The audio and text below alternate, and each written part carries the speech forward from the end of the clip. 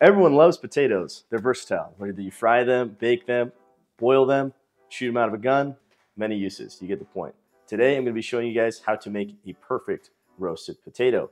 Crunchy exterior with a fluffy interior with a couple of secret ingredients. You do not want to miss this. Welcome back to Big Time Eaters. Welcome back to Big Time Recipes. I'm your host, Ezra. Let's talk about the ingredients. Cubed up Yukon Gold potatoes. You can also use russets.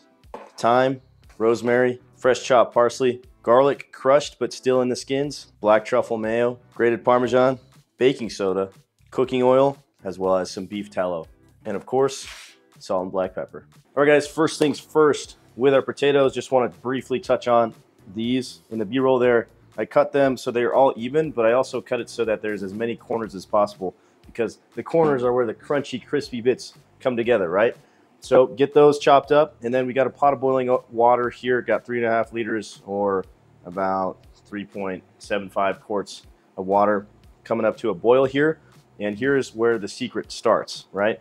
First secret ingredient is going to be some baking soda. This is sodium bicarbonate, is what it's called. And essentially, what happens when you mix this into the water, it roughs up the exterior of the potato so that we can get more craggly edges for oil and fat to seep into, making more crispy and more timer and more better potatoes. So we'll go in with a teaspoon of that into our water. We'll just eyeball it. That's about a teaspoon. Get that added in. And then we'll go in with about a quarter cup of salt here as well. And this is to season our potatoes as they cook so that the salt penetrates through and then we'll season the outside with our other ingredients that we had listed. But now we can go ahead and get our potatoes added into our pot of water. Be careful with this part. Do not want to burn yourself. Just get it as close to the water as possible to prevent the spillage from happening. And then give everything a mix. And it's okay if your water is not fully boiling uh, before you add your potatoes in. It'll still cook as it's warming up. So now let that go about 25 to 30 minutes. We want to push it to the limit where it's like falling apart, but we can still carefully extract it uh, without them getting too beat up. And we'll check back. All right, guys, potatoes have been boiling for about 27 minutes and they're right where we wanted to be. They're falling apart. And you can see on this potato specifically that the baking soda has done its job of making the water a little bit more basic rather than acidic, which makes the exterior a little bit more rough. Let's go get these strained and we'll be back over here. All right, guys, so we've got our potatoes drained, and you can see the baking soda definitely did its job. This is a better angle here, how there's the fluffy edges. In addition to cooking it uh, for the amount of time that we did, the edges are already rough, roughed up where it's like almost the potatoes want to mash themselves. Now what we're going to do is we're going to set our salt grinder to a coarse grind so that there's good crystals Go with some cranks of that, and now we'll just toss it to make it the edges even more craggly.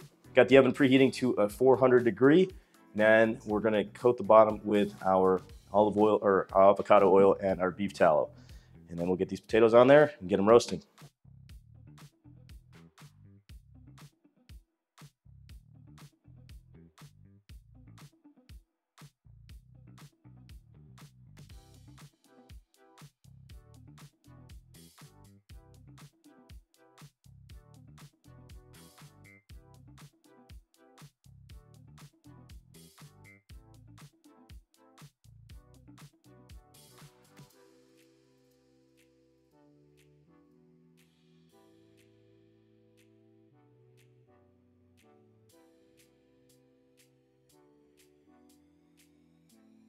So we're back. We've got our beautiful pot of golden brown, delicious, crispy potatoes.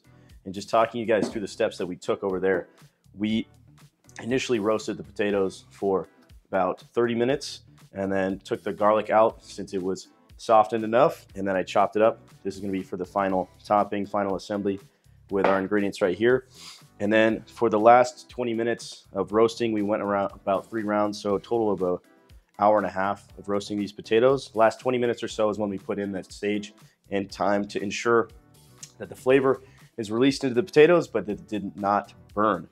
So we've got our beautiful herb crusted potatoes. I've also got it resting here in paper towels to remove any of the excess oil that is in the pan. Also, don't throw away that oil, guys. That is a beautiful flavor enhanced, infused oil slash beef tallow. Make sure that you can put over the top of meats, um, finishing oils for salads, anything, man. That is wonderful flavor. So don't waste that. But as far as what we're gonna do now, we're gonna do the final assembly. That begins with our truffle mayo. We're gonna get a few tablespoons of that in here. And alternatively, if you can't find truffle mayo, you can of course just use regular mayonnaise. Kewpie mayonnaise is a good substitute. This is just gonna bring that final layer of flavor that we're looking for. And then we'll go in with our parsley, our garlic confit, our fried garlic, as well as our Parmesan. Go in with a touch more parsley. And some cranks of black pepper. Toss our potatoes in and give everything a mix. Guys, you can hear how wonderfully crispy it is. This is just gonna bring the flavor up a notch. The final sort of garnish. You can smell that truffle flavor on the mayo. Oh, guys, this is gonna be gonna be eating this by the forkfuls. I promise. If you take the time to make a good roasted potato, people will love you for it. I promise. So that's pretty much it. I'm just gonna taste for seasoning, see if we need any more salt. Wow. Guys, that is incredible. Salt is good. I think a little bit more black pepper. And we're set. Give that a last mix. And let's get this served up. All right, guys, we got it plated up here. Just topped up a little bit more parsley, a little bit more Parmesan. And let's get a bite of this. Wow. Mmm. That overwhelming crunch is then met with the fluffiness, that pungent Parmesan flavor, and the strong notes of truffle in that truffle mayo. Wow. That is a good, good roasted potato. Takes a little bit of time and effort, but man, is it worth it. Let's get the dense test. Guys, the dense test is here. Back in blood. Let's, uh, let's give this a try. Already it's smelling wonderful. Mmm. The aromatics, you can smell that truffle. Let's go in for a spoonful. Right there. Cheers.